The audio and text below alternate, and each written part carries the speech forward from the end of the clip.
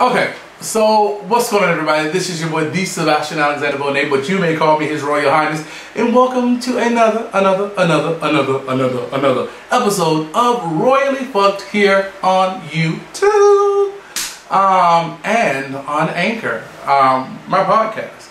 So, um, it takes a special bitch to murder their nephew. If you have not heard, uh, James Timothy Norman, you may know him. I never watched the show, but he is from the show Sweetie Pie's. They used to come on on Ms. Robbie, everybody call her Auntie Robbie, who owns Sweetie Pie's. She was one of the original Ikettes that got out with her life. Um, and she took her money, she was a singer outside of that as well, um, and took her money and created this restaurant, this brand. But as of August, what day is this? August 18th, two good days ago, James Tim Timothy Norman, but everybody call him Tim, uh, was arraigned and arrested on federal charges, bitch, not local, not state, but federal uh, charges and being held in the Madison County Detention Center. Norman was charged with conspiracy to use interstate commerce facilities and the commission of a murder for hire resulting in death, i.e. a cell phone. So I'm gonna break it down for you real quick. Long story short, for whatever reason, it has not come to it has not come to uh, full fruition of why this took place. But the FBI, the feds, were tracking this and investigating this story. Um, but it is alleged that James Timothy Norman killed his brother's child, Andre Montgomery. Now, Andre Montgomery is the second because his daddy, who was also murdered, um, is named Andre Montgomery as well. Ms. Robbie, per, per Google, has two children, Tim Norman and Andre Montgomery. And the, the, the baby Andre Montgomery is her grandson. So, sequence, I'm not going to read this because I don't want to read it, go too far into uh, like just reading. But long story short, Tim Norman took out a $450,000 uh, life insurance policy on his nephew. Why? Slightest idea. I didn't know you can take out policies on people that were not your direct descendants. Now maybe because his brother has was deceased and from what I understand based on Google, that was the only child that his brother had. Maybe he was trying to set him up. I don't know why he took out that large of a policy on his nephew. It ain't like the nephew was a rapper. It ain't like the nephew was coming up. Yeah, you saw him on the show. Yeah, you saw him graduate on the show. But he was he was not a celebrity. I was about to say he ain't nobody special, but I don't want to degrade him, especially in death like that. But he is not a celebrity or a household name, so I don't know why you need a four hundred and fifty thousand uh, four hundred fifty thousand four hundred fifty thousand dollar policy, especially on an eighteen year old or whatever, right? So long story short, uh, he put this together with a stripper named Terica. What is her name? A stripper named Terica Ellis, but she goes by the name as Alexis the Great. Now, bitch, I didn't see pictures of this whole. I ain't nothing great about her. She is from what Memphis, I believe. Memphis, uh, Tennessee. Honey, long story short, federal authorities allege that in 2014, Norman obtained a $450,000 life insurance policy on his 18-year-old nephew, Andre Montgomery. Norman was the sole beneficiary, not his mama, not nobody. I guess again, his mama, but his brother was already dead, so I don't know who else would else be the beneficiary or whatever. Uh, in the days leading up to Montgomery's murder, Ellis told Montgomery uh, that she was coming to St. Louis on March 13, 2016, the day before Montgomery was murdered. Norman flew from St. Louis, Missouri, from his home in Los Angeles, California.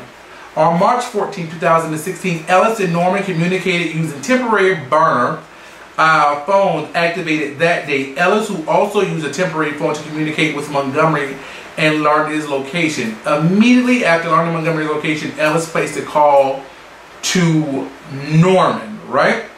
So, for whatever reason, they are in um, St. Louis, Missouri.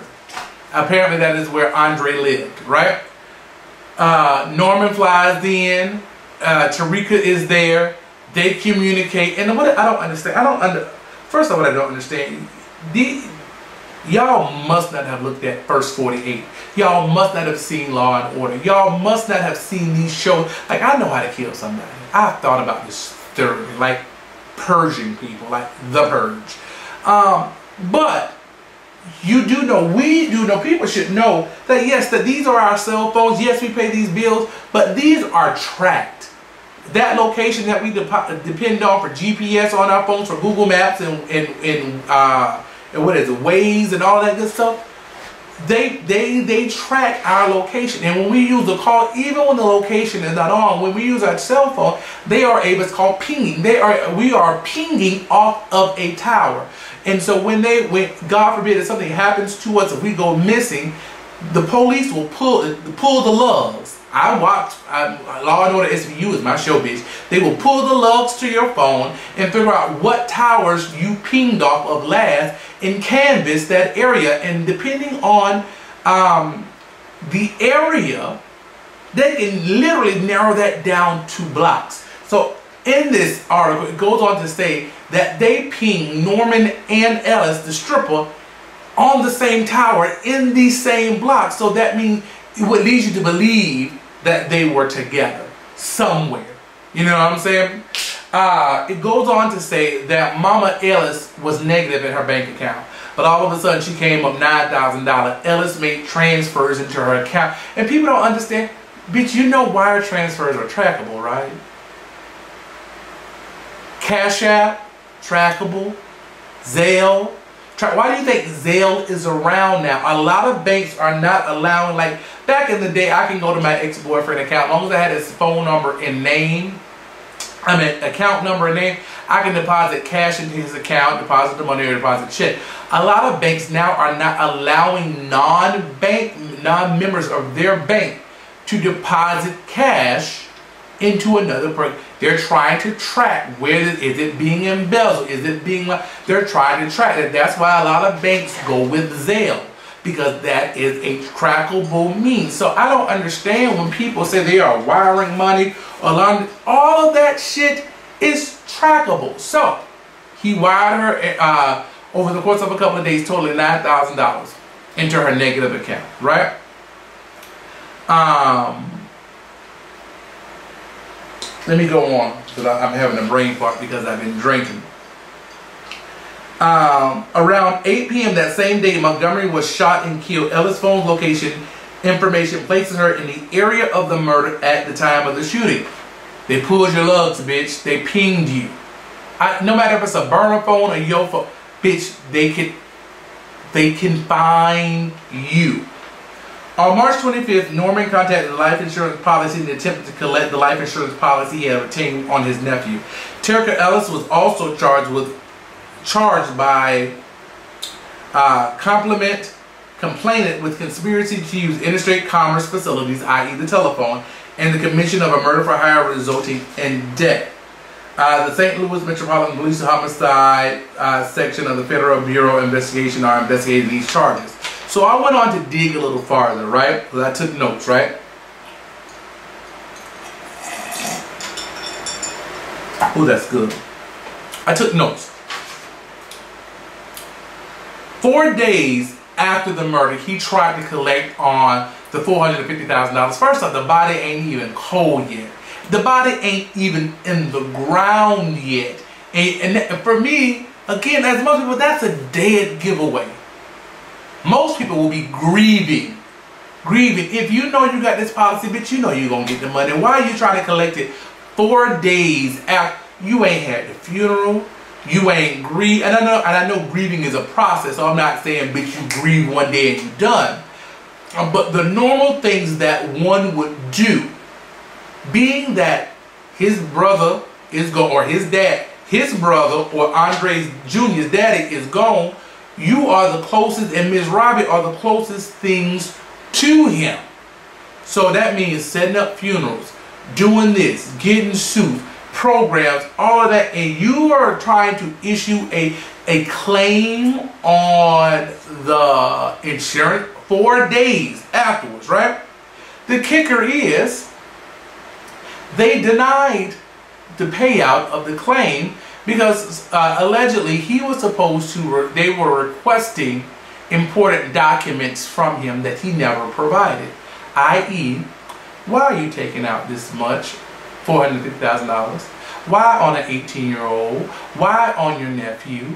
Are you the, you know, and, and I'm, I'm guessing be and I, I don't know how this normally goes. I'm be I'm guessing that will be his direct I guess the next to kin because his father is deceased. So his father's brother, there's only two of them, will be his next of kin, I'm guessing. Or would it be his grandmother? I'm assuming that it would be his daddy's brother. It wouldn't does it go straight up of next of kin or the next bloodline over the next generation? That I don't know. Drop down in the comments and let me know.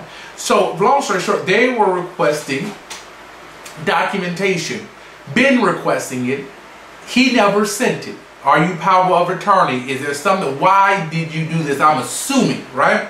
He never sent it. So they denied the claim of the 450. So you did all of this to still not get any money. Ironic. All right. It also goes, and this is coming from the Daily Mail, it also goes on to say a year prior to him getting this claim, Another, he went to another insurance agency and tried to take out a hundred, a two hundred and fifty thousand dollar policy on said same nephew. At that time, if you think about date wise, because that four hundred and fifty dollar policy that was taken out was taken out roughly a year in advance. So that means you took out a policy roughly on a 16 to 17 year old.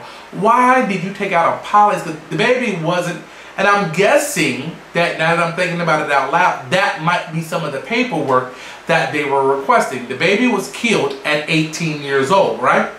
So that policy was taken out a year in advance. He had uh, minimally was 17 years old, uh, maximally 16 years old, depending on the dates. So if you're taking out someone underage, I'm sure there is some kind of paperwork saying, okay, why? Is he yours? Are you his father? Are you his next of kin? Are you um, have, what do they call it? Um, custodial. Are you the custodial parent? You have custody of this child. When his father died, maybe Tim got custody. I don't know who got custody of the young man, of the baby, when his daddy died. But again, they requested paperwork that was not sent back. So, a year prior to that, so I'm assuming the baby was like 15, 16, maybe 16, 17, he tried to take out a $250,000 policy on him, and that was declined by that insurance company coming from the Daily Mail. Now we all know, or maybe some of us don't know, ooh, readjusting myself, that Tim has, has, has a history um, with the law. He was arrested for armed robbery and served 10 years in prison, right? That was issued on the show. That was talked about on the show. Also, 2018, he was charged with a misdemeanor assault, allegedly punching a former employee in the face. Now, why you want to punch a former employee? I don't, I don't know why, but and then in 2019, a Houston-based company sued him for uh, sued him over uh, unpaid rent totaling $254,000. Bitch, what kind of house do you have? I know restaurant money is good, and I know that Oprah money is good, and I know Sweetie Pie money is good, but y'all, to my, to, in my mind, y'all ain't bought. What kind of place do you have to where you have $254,000 of unpaid. Now, this is not restaurant, this is rent. Rent. Now, maybe they let you coast because of who you are and being on TV. You know, sometimes they let the famous people coast and do all that good stuff. That, you know, everybody, every business has a breaking point, bitch, they want their money. But, a Houston-based company sued them for $254,000 of unpaid rent. And then later that same year, the Plaza building in Jackson, Mississippi said that, that he owes them $100,000 for a uh, store, a Sweetie Pie store that was there that he never paid rent on. Now, further in the article, I guess uh, through the legal depositions, he said he was withholding rent because there were, uh, um, what is the word? There was um, things that needed to be fixed that the building wasn't fixing, so he opted with to withhold rent. I don't know if that's true or not. So ultimately, you're talking about $354,000 that Tim owed to creditors.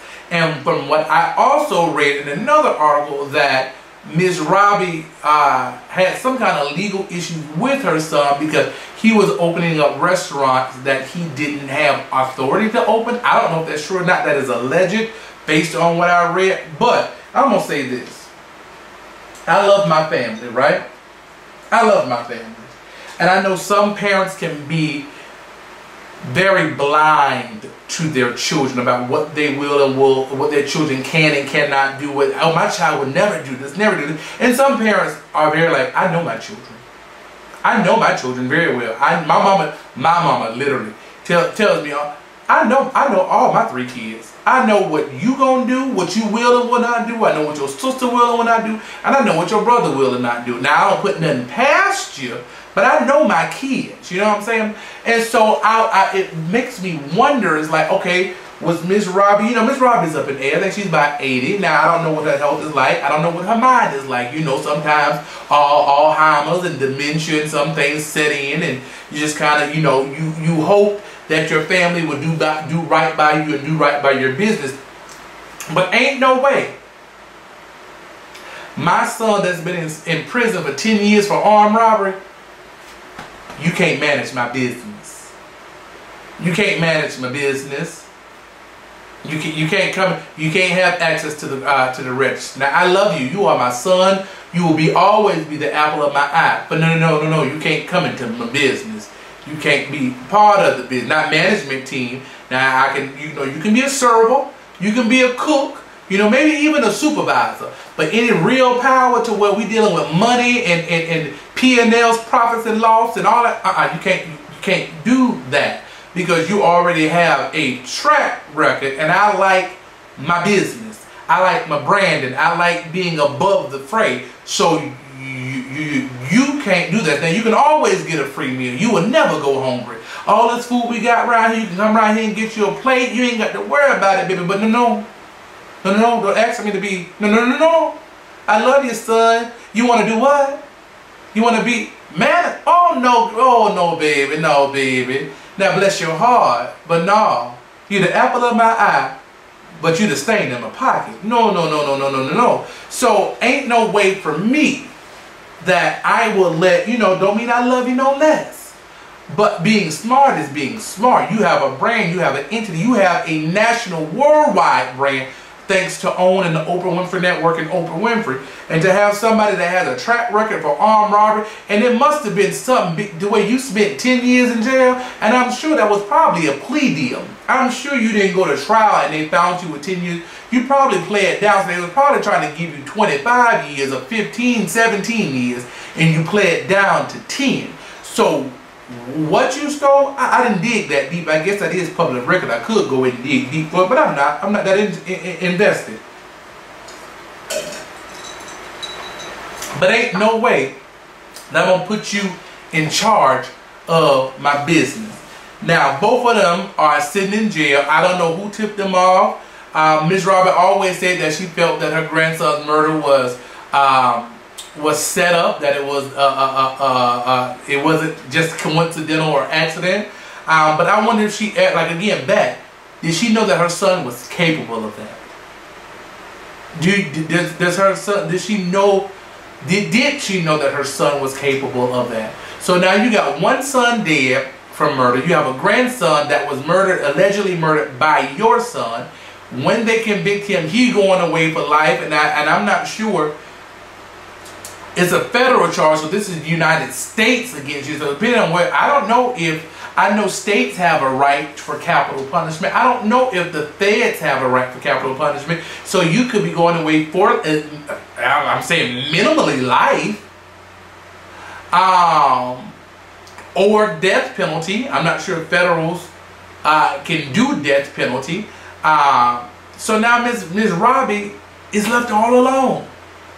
I saw in the, that she has siblings. I didn't click to see if her siblings are still alive, but Miss Robin 80 years old, so her siblings got to be up in that. I don't see them being no no no no younger than 60. And if she is the youngest sibling at 80, they up there if they still down here because they might be literally up there. Um, so um, it's a sad situation. It takes a special motherfucker to murder, allegedly murder his nephew. I love my uncle Bob. I love my uncle Tony. I love my uncle Myron. I have some. I have a wonderful family. I would never think, as much as I may have pissed off my uncles, that I would have done something so heinous to make them want to murder. They may want to beat my ass.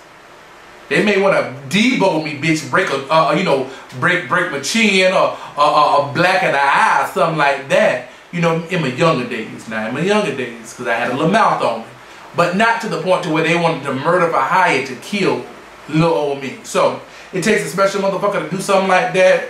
Um, I can't. I ain't got no heaven or hell to put nobody in, but it is. It's bitch. You sad. You sad. So that is roughly the spiel of what's going on with um, James Timothy Norton, Norman, whatever the bitch name is. May he rot up under the jail if this is true. I don't. I wouldn't see why the police would lie. Um, well, let me not say that. Let me not.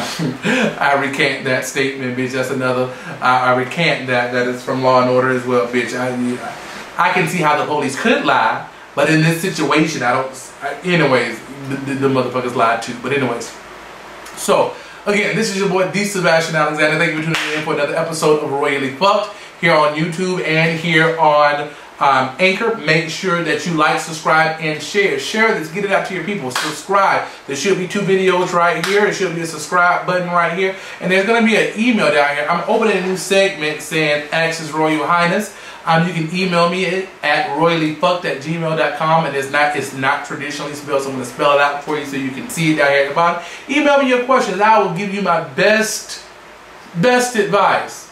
Yes. Yes, yes, yes, yes, yes, yes, yes, yes. Um, and so with that being said, this is your boy, His Royal Highness, D. Sebastian Alexander Bonet. Have a great day. Peace, much love. Holla at you later. Bye.